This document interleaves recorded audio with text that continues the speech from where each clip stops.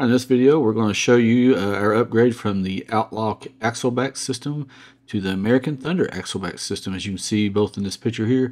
Uh, just a quick note on the driver's side, I'd already installed the hanger, so if you want to look back on the uh, Outlaw Axleback video to see how I did that, uh, please do so. I can put a link down below and sit back and enjoy. All right, so this is actually pretty easy. I already looked at the directions, and all I got to do is put these on here.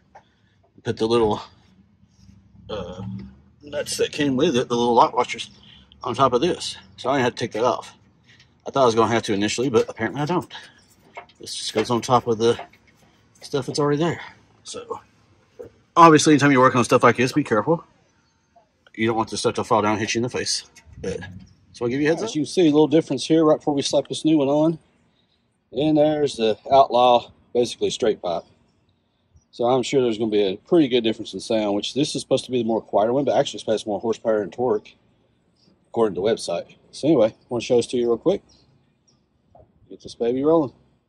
As you may notice in these uh, pictures, this system here doesn't have the hanger bar thingy, whatever, on the tip. So I did have to reach out to Flowmaster. They sent me a brand new exhaust. Uh, you know, kudos to them for honoring their product. As you can see here, uh, here's the tip that hanger that has to, to use. So want to thank them for doing that and got the install done after all. So thank you so much, Flowmaster and Holly. All right, a little easy peasy here. As you can see, there's not much of clearance there. But I guess it'll be okay. But anyway, so we got that. I used some uh, PB Blaster to help ease those on. And of course, here is the muffler itself. See if we can get out the sun here so you can see better. Of course, there is the bars. Yeah, of course, up here. So got that slid in all the way. We'll make sure slide it all the way. Yeah, make sure you position these really good. Uh, you don't want to make it too obviously. So anyway, you'll see here, compared to the stock muffler, this is pretty uh, pretty snug up in there. So pretty ground clearance. Yeah, plenty of ground, ground clearance. Uh, your lowest point's right here on the tip, which is close to the tow hook.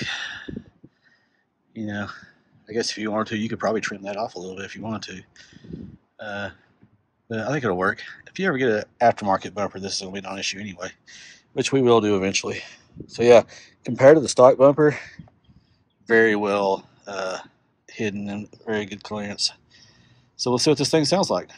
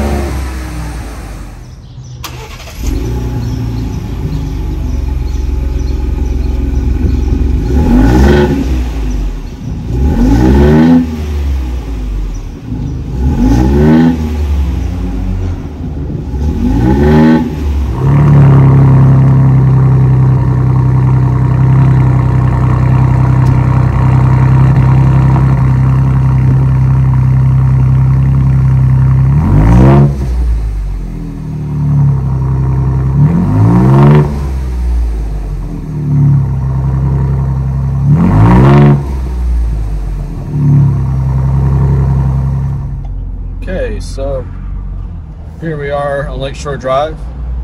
About to get on Lakeshore Drive. Give you guys a good feel for what the sound tastes like when we take off here. Now, full disclosure, the windows are up, but the top here, as you can see, is open. So you will, you are going to hear a lot more wind noise than you normally would uh, for this time. So just want to kind of give you guys a heads up on that. And, you know, waiting on the light to turn green, then we'll hit on the on-ramp. Give you guys a good feel what this thing sounds like uh, when under load. So just a FYI.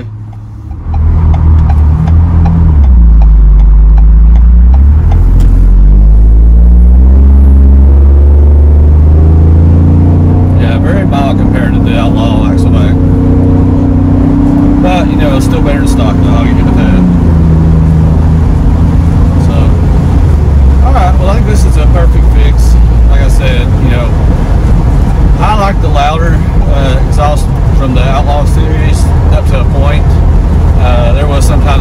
obnoxious even for my taste.